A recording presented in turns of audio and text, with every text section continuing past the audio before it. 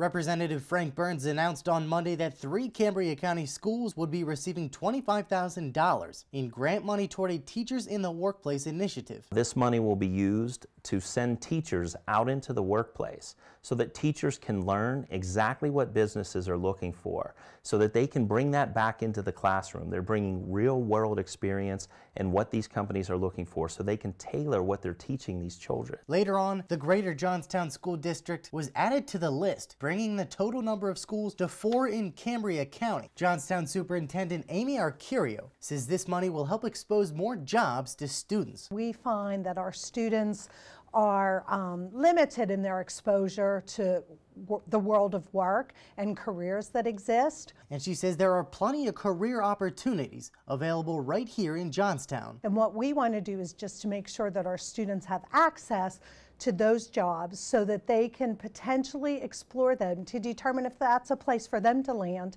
after graduation. Burns says prepping students at a younger age could help land big businesses to Cambria County. It's a win for the businesses because they're going to have a ready workforce at their disposal. The other five schools that received grants include Cambria Heights, Penn Cambria, Central Cambria, Moshannon Valley, and Purchase Line.